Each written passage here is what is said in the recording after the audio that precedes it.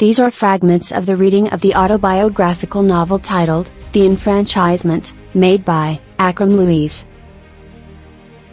Consider yourself lucky if you have free time to enjoy yourself or to read these lines, because unstoppable globalism is able to encompass you to make you full-time servitors to the dreadful system of capitalism. Cruel capitalism has used technological globalization to deploy itself by destroying solidarity socialism which unfortunately lacked the engines of competition between citizens.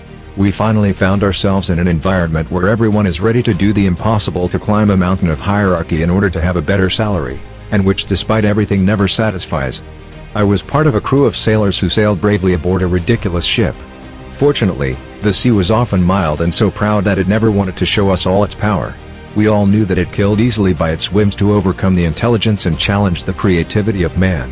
But when the waves rocked us sympathetically, we could overcome the gloom that overflowed our cursed ship and we managed to fill our functions with complete peace of mind. Here is a fragment from the end of the novel. I don't expect a response letter from you because I know you can't deny the views you hear about me. You can't deny all these miserable people around you and get out of their strong current that carries away even the good ones like you.